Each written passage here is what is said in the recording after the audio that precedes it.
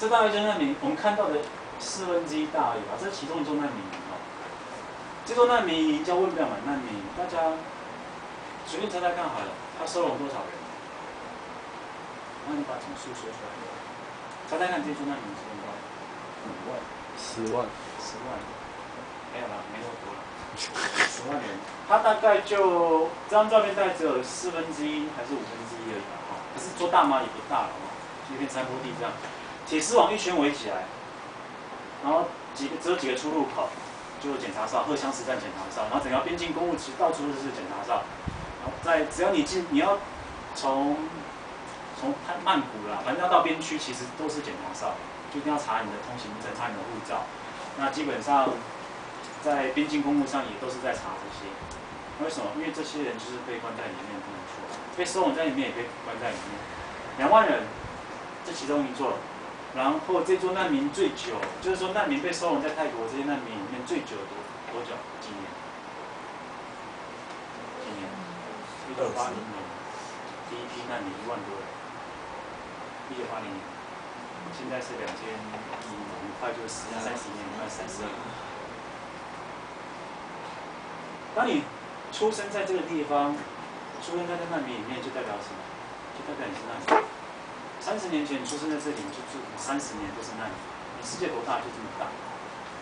他不要说什么小朋友，你说等下看到那照片，那孩子说我们去，我们原本在当地是做幼儿教育服务的嘛，三到五岁的小朋友，我印象很深刻啊，就两千八年九年前我在那边第一年去太远边境的时候啊，那看到老师大肚子怀孕嘛，那隔几个月小朋友出生，然后再隔几个月一年多，小孩在那跑来跑去，三个月三年四年在幼儿园，那我离开的时候上小学。他就是在里面，就是在里面的，就在里面。那我其实多说一下哈，反正嗯，其实我很怕人在他里面，因为我最怕人家问我三个问题。第一个问题，台北曼谷机票来回一张多少钱？几班 c o b o 这，但是对于当地来讲天价。好，第二个问题，我去过哪些国家？第三个问题。我有没有念过大学？当然我会坦白说，我念过大学，台湾念。他有问，那后来都知道，就知道我还去国外念书。他曾经在那名就是一个朋友，他三十，他年纪大我几岁了，不愿意把自己年纪讲出来。那他就是三十年前跟着爸妈，十几岁的时候，四五四五岁跟着爸妈逃难到了泰国，然后开始被送在难民里面，后来在里面娶妻生子。那他是我们工作伙伴哦，然后就是朋友，后来。还是我朋友，然后有一天他就到他家，其实我常常到他家嘛，就那边在他家做。他突然问我说：“Sam，我可不可以借一下你的护照看一看？”台湾护照，虽然上面还有加印中华民国，我觉得中华民国在加印。那个他借一下护照。那因为我们的护照以前都要申请签证，签证要有那个贴纸，所以有啊，带是去了一些国家，去回来不多了，十几个而已。那他就看到一张一张的。在那看，他就有点自言自语，然后有点像跟我说说，真希望有一天我也能有一本自己的护照，跟你一样去看去这些国家走一走看一看，然后他也希望他有机会能来台湾，能到我的故乡，他也觉得我们是是台湾区的团体，台湾的资台湾的呃经费资源去做去帮助他们。那他觉得他想来这个土地上看看这个土地上这些善良。那我觉得在接触的时候，其实他是透过我在看台湾，在看台湾。那那很多时候，很多时候其实都很很多太沉重的东西都都很难去面对。尤其当里面很多年轻人，他们其实英文很好，英文真的很好。可当他们听到我在讲台湾，讲我自己的经验。讲我去哪里玩，或者一些我们台湾有什么有什么，或者他们经过有时候还是会看到一些杂志报纸，哇，台湾有一零一有高铁，问题那些也不是我们盖的啊，那些是泰国人盖的。那泰国朋友，然后，然后他们这些年轻人，那你不要说那就那你对吧？太缅边境的，不要说缅甸了，不要说泰，就是少数民族，连泰国的年轻人都一样。他一听的时候，他眼睛都发亮。他对于那个我。他。那其实我能够出现在当地，就代表跟他们不一样了。哪里不一样？我比较有机会，我比较有资源。要不然的话，为什么不是他出现在这里，而是我出现在那边？那他出现在这边，呢出现在这边，他只能去挖隧道跟盖高速公路等等。那那你的状况？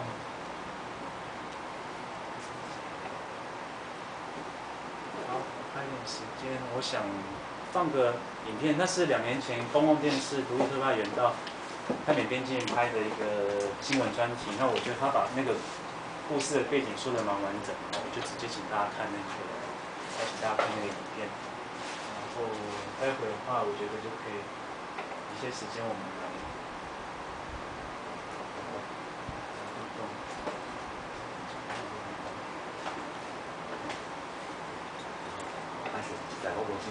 退出个点还是？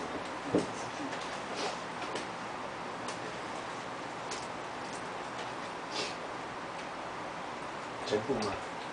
哎，他打开说第一第一篇章打开，然后刚刚开场的时候哈，我的梗不小心被那个博信破，被泡糟。赖轻松是我哥了，然后，好几个对对，好几个。对，这里对，谢谢。大概十五分钟。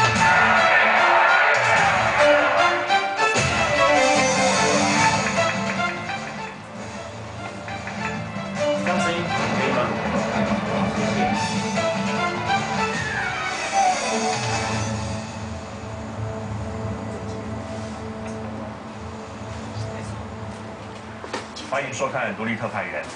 这个星期六，六月二十号是联合国的世界难民日。联合国用这个日子来提醒世人，必须关注那些为了躲避战争或天灾而逃离家园的人们。根据联合国难民署两千零七年的统计，目前全球有超过三千三百万名的难民，其中在泰缅边境就有超过一百万的缅甸人是因为政治压迫或者是经济因素而逃到泰国。他们大部分属于一支叫做假梁的少数民族，有些假梁难民因为符合条件可以住进难民营，但有些却成为非法偷渡者。独立特派员李杰林、罗胜达前往泰缅边境，主要收容缅甸难民的美索小镇，实地了解这群人的生活。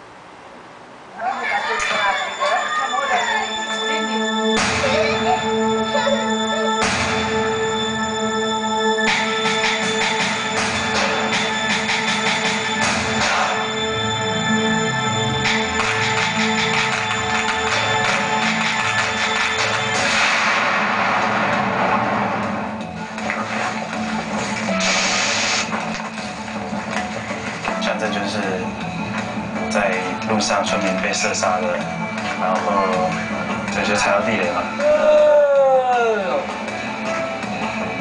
Yes, I think if I can, we want to move to the third country, then we start new life.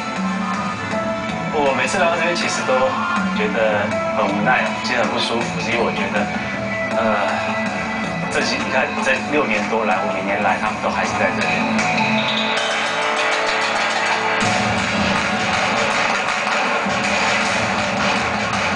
六零年代，缅甸军政府主政以来，超过百万缅甸人在自己的土地上流离失所，其中十分之一被收容在泰国最西北的边境城市中。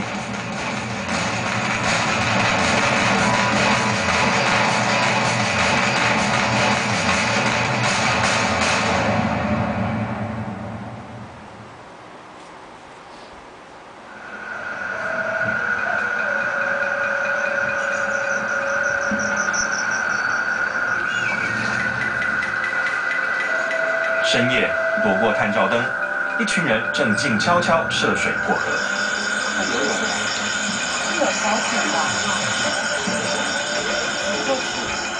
不到三百公尺的河面，对岸就是缅甸。在夜色的掩护下，缅甸人成群结队的越过边境。白天，他们则化整为零。快，来来，你好看。美索镇位在泰国达省境内，是泰国国境的最西点。镇上这一座名为友谊桥的边境桥，每天有无数的人车来往。桥面上属于合法的那一边，桥底下则有许多灰色蔓延。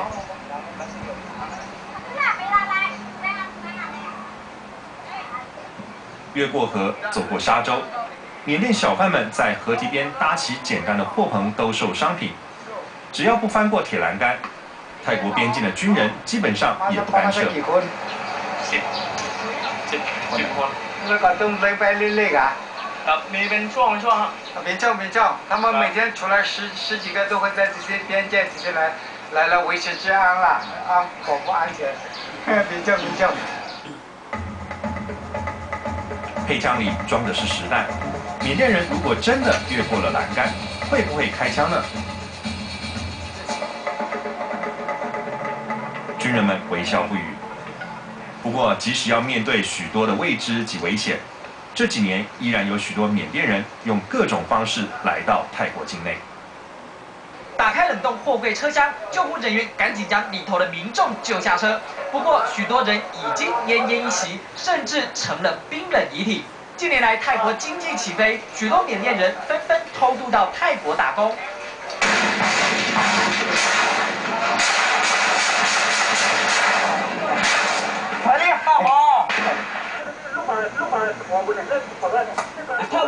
一九六二年，缅甸由军人主政，四十七年来内部烽火不断。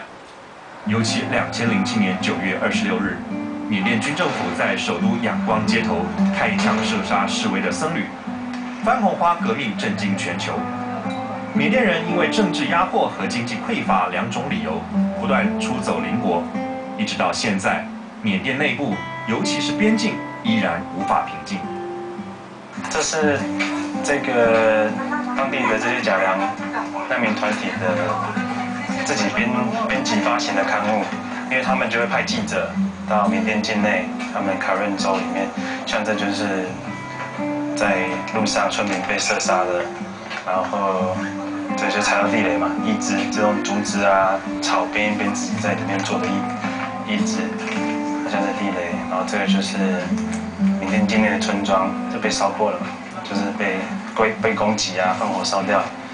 在缅甸境内就因为征战的关系，那现在打游击战，要不然就像这样埋地雷，这样地雷的伤害其实相当大，地雷伤害相当大。因为后来埋到大家都忘了在埋在哪边。那将来其实我觉得最最长久来说，有一天也许和平了，可是这些地雷如何去清除，然后。都很困难，真是非常困难。然后如何去去处理彼此之间这种仇恨啊、征战、杀戮，那都都会是一个很大的、很大的挑战、很大的困境。棕色的屋顶，绿色的山林，两种颜色是难民营里的主要色系。Ah,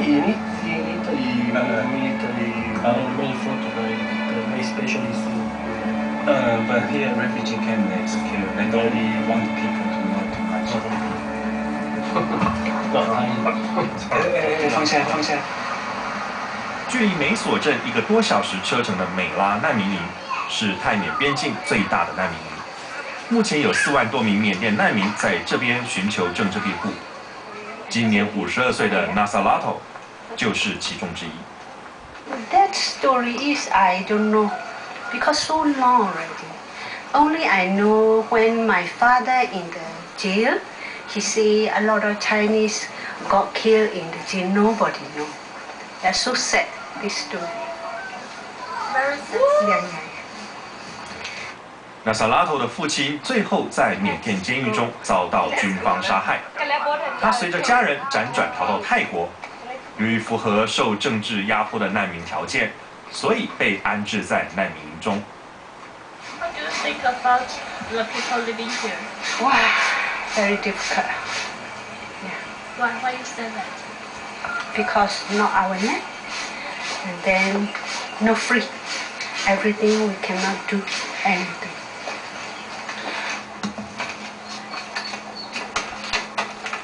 Here is my sleeping bed. All people get me. There is my son. Here is my kitchen, the veggie and mangoes, mango tree there. There. Here is just now my nephew and niece sleeping bed. Three family. My family is six. Then another family five, another family seven. 三家十八口人 就住在同一个屋檐下。不过，最让 Nasalato 忧虑的，却和困苦的生活无关。Learn. Yes, I learn now because we I can communicate with other people for my children future. They don't want to learn, only I learn. Here I still learning uh, Thai language. Last year I learned. This year I'm not free yet. Later I will learn. Now I'm learning widely. You can sit in there. Do anything, everything for your children, right? Yes, for their future. Because after my husband died, I have to stand up alone. Huh? Come and carry the water. Yes, very sad. Father also killed by the army in the jail. So yes, I think if I can, we want to move to the third country, then we will start new life. Now, no choice. Whatever the government put us, we have to. Nothing.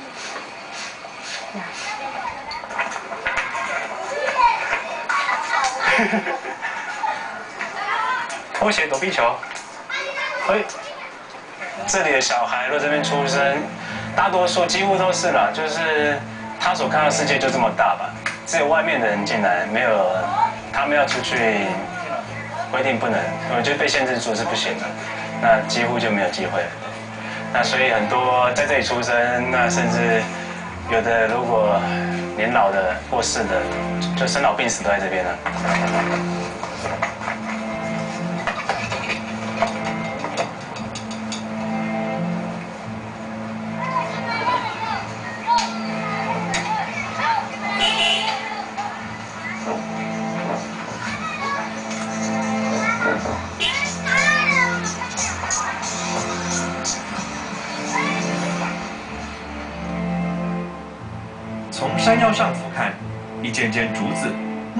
和茅草盖起来的房子，如同模型一般错落在山坡上。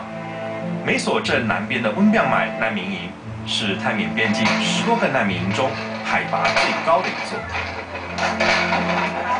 潘总，呃，潘总，一台一台车可以载一千两百只那个竹子啊，其实这建材都是竹子，然后这竹子就是这些国际组织赞助要让他们盖房子的，然后或者像我们学校也都是用这种建材在在盖。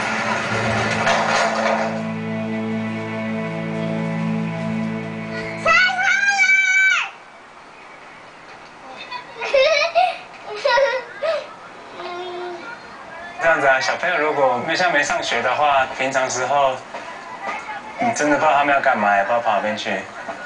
不然的话，家长有时候他们要忙一些农务啊、干嘛的啊、家务，可是小朋友其实大概就没人管了，反正就在这这里面这样晃来晃去的。所以下个月下个礼拜开学就都送到学校去，你至少有老师照顾，可以学习，小朋友大家一起玩，然后还有的是，然后就照顾上会比较好一点。所以平常小朋友要是不去上学，可能一整天都没东西吃嘛。如果大人太忙，是啊，大人忙，或者反正家里本来就是，他们有时候可能只是煮早上煮一餐，把饭都煮起来，然后中午就吃剩饭，然后东西也没什么，就吃的很简单。那所以小朋友的话，要不然就是剩饭吃一下，要不然就是饭不够就没煮就没得吃了，对。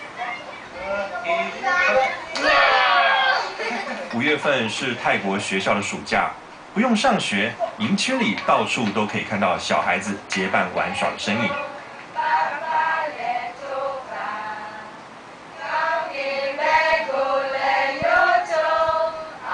无忧无虑的他们还不晓得，大人们正为下学期的餐费伤透脑筋。哦，这是那个营养午餐费，那待会会请学校他们来签收签名。那就是我们提供现金，然后他们会去买新鲜的蔬菜啊，然后新鲜的肉类，因为这些东西那里面都没有配给，所以这些孩子有很多一天可能吃到一餐两餐而已。那可是在学校，他们只要来幼儿园，他们每天都可以在学校吃到一餐有肉有菜。就一个孩子一天一餐只有三块钱的预算，那三块钱其实真的就像一百个孩子的一个学校，他要准备一餐午餐，其实只有三百块。那三百块要买肉啊、买菜、要买蛋，要准备其他的调味料等等，其实不太够。所以我们希望说今年就可以加到五块钱这样子，让孩子有更更丰富一点。欢迎来到快乐世界学校。小朋友，小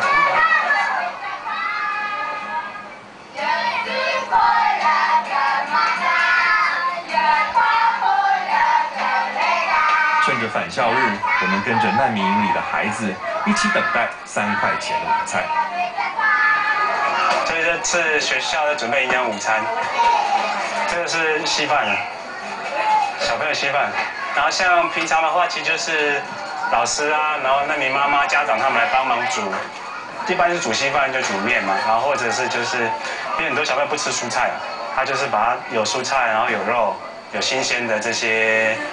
这些食材吧，对，食物新鲜的食物，不然的话，里面配给你就是只有干的东西，那佐料啊、饭这些有有配给，可是新鲜的食物来源是没有的，你就一定要花钱去买或者去拔野草、拔野菜这样子，但是都很有限，因为这里生活这么稠密，其实都没有这样的空，没有这样的的资源的。这个这个这个好像是，这家没有吃东西，这个两个人没有吃。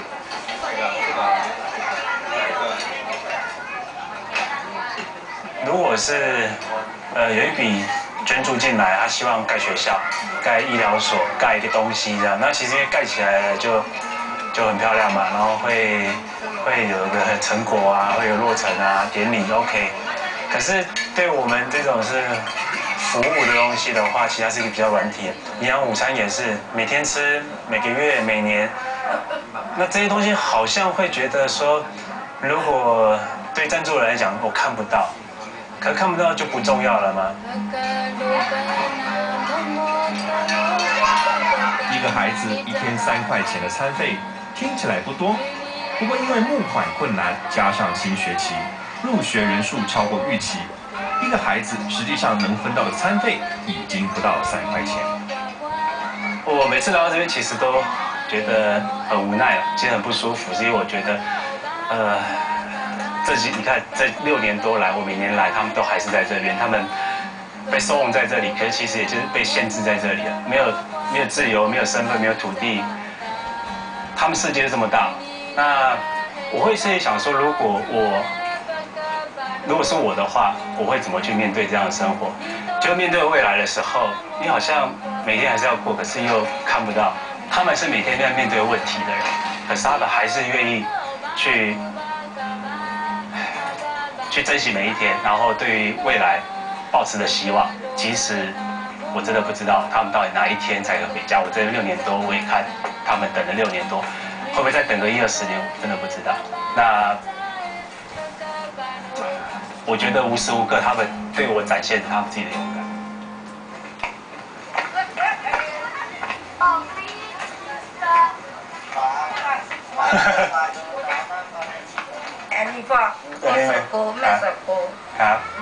他说有两个爸爸两个妈妈。他其实就是这边有住两户人家所以他自己有七个小孩然后另外还有三个是另外一个家庭他们就都住在一起所以才有这么多小朋友。然后还有一些几个比较大的就在在现在在外面这样子。那像现在放暑假小朋友不上学他们都做什么？听呃放暑假了，不上学在做什么？就是因为就好在以假良语或缅语为主要语言的难民营，外来者至少需要双重翻译。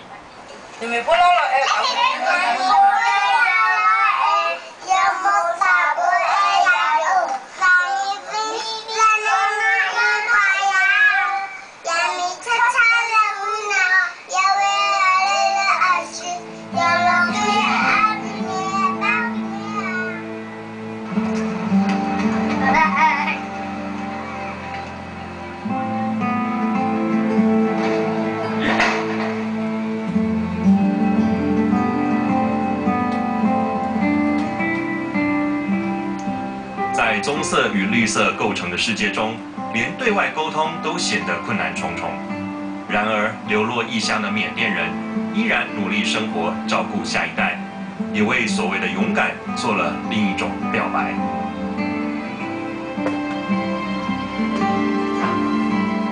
小红包啊。目前缅甸境内还是由军人主政，而军政府对边境的少数民族采取高压统治手段。甲良族组成了游击队加以反抗。最近呢，缅甸军政府又开始攻打甲良族反抗军的据点，使得难民人数持续增加，也更需要国际各界的持续关心。因为他们。